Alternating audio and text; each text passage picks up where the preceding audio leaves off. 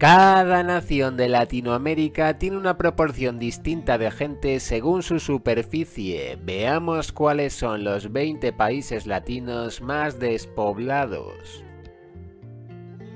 Puerto Rico a día de hoy es el país latino con más población según su área, con 367 personas por kilómetro cuadrado.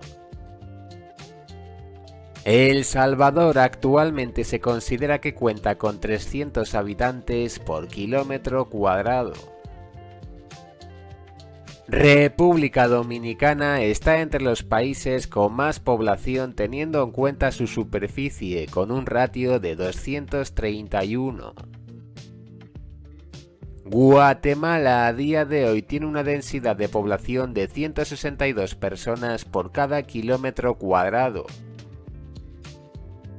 Cuba actualmente está entre los lugares más poblados en relación a su área con un ratio de 102.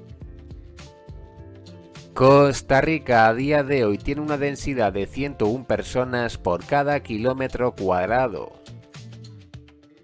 Honduras destaca por su elevada densidad en comparación a otros países con un ratio de 91. Ecuador actualmente cuenta con 69 personas de media por cada kilómetro cuadrado. México, a pesar de su elevada superficie, tiene 65 habitantes por kilómetro cuadrado.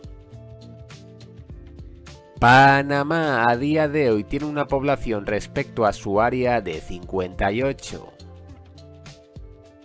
Nicaragua, teniendo en cuenta la relación entre demografía y superficie, da un resultado de 53.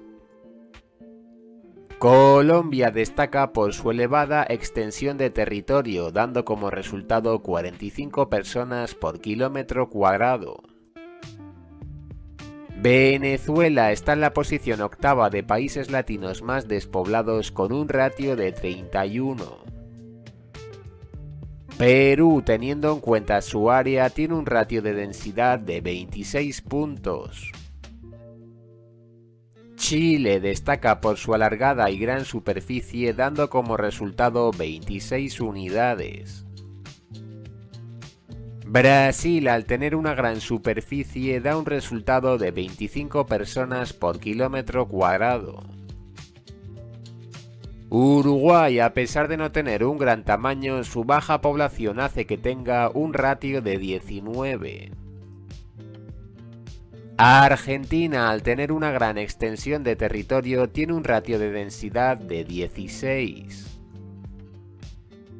Paraguay actualmente cuenta con 16 habitantes por cada kilómetro cuadrado.